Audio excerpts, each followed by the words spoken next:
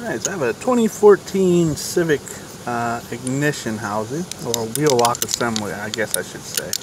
Um, and a problem I have whenever I rebuild these is that every time I remove the cylinder, the wheel lock actually stops functioning. And I think I've found out what happened. So basically, after you pull out this lock, this piece, if it gets pushed forward, it actually triggers a mechanism inside of here. Let me see if I can get it. That's right in here.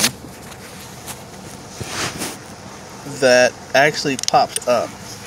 So to reset it, you have to remove it from the column and open it up like this. You take this cover off right here and you have to push this piece all the way down again.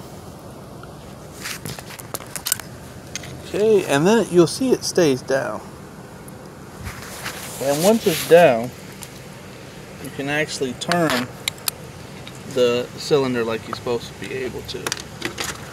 Um, now, I'm wondering, to prevent this from happening, if you can remove this, you know, the uh, you remove the uh, electronic ignition switch and maybe put some vice grips or some something on here just to hold it back uh, to prevent this from happening. Because you know, pulling these switches off is a pain. I mean, it's not too hard; it's just a pain. But you'll see. I'm gonna push it again, and you'll see this mechanism pop up. Oh, I already popped it up. Let me get my poker back down. I'm gonna push it back down. And right now it's not catching, so I don't think I have this pulled back enough. And see, it's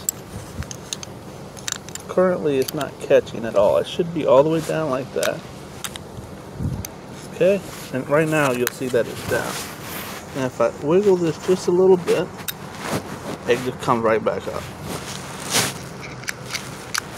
So I'm going to get the cylinder in here, which I have trouble doing for some reason the key buzzer is getting in the way.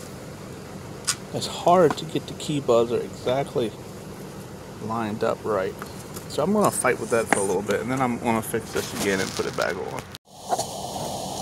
Alright, so I have the uh, the cylinder back in. I have uh, the antenna on there and the, the light. And I just wanted to go over it real quick again.